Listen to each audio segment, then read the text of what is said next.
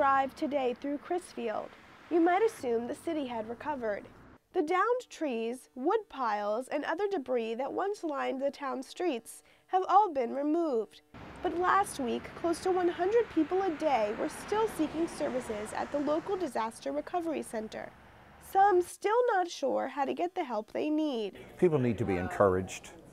Um, the whole thing is overwhelming, emotionally overwhelming. Elderly and folks that don't understand the process, they're reluctant, they're suspicious of government. Since President Obama declared Somerset County eligible for individual assistance, federal emergency management officials have been on site at the Recovery Center to help residents navigate the application process.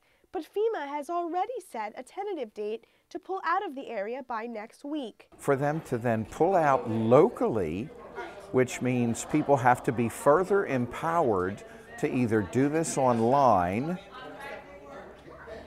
and if you come from the lower income family, you don't have a computer. You don't have internet. Steve Marshall, the Director of Emergency Services for Somerset County, feels conditions have greatly improved since the government stepped in. I feel a lot better. FEMA's been a godsend to us. They've not helped everybody, but they've gone a long way in helping people that wouldn't have had help before.